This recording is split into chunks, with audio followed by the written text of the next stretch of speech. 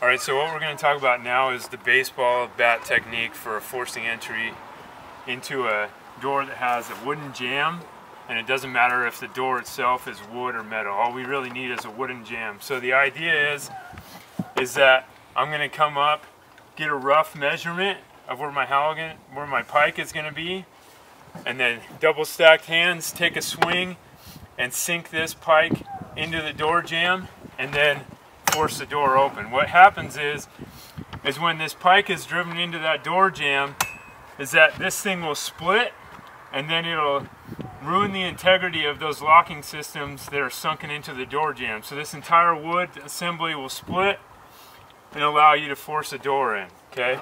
Now, if you happen to hit back here and you go to force the door, more than likely you'll rip the outside of the jamb off, no big deal.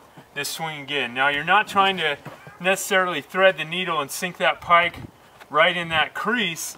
You just don't want to get too far out to where you're going to lose that leverage and just rip the backside of the jamb off. So again, come up. I'm going to get a rough measurement. You know, some people will try before they pry. I'm here, step back, sink it in. You're in the door. Okay? And as you can see here, where those locking assemblies were when that pike was sunken in. This entire thing split, ruining the integrity of the locks, and then you force the door in. Now, from here you could go up with the adz if you wanted to. It's just not as explosive as going sideways and shouldering into the door, okay?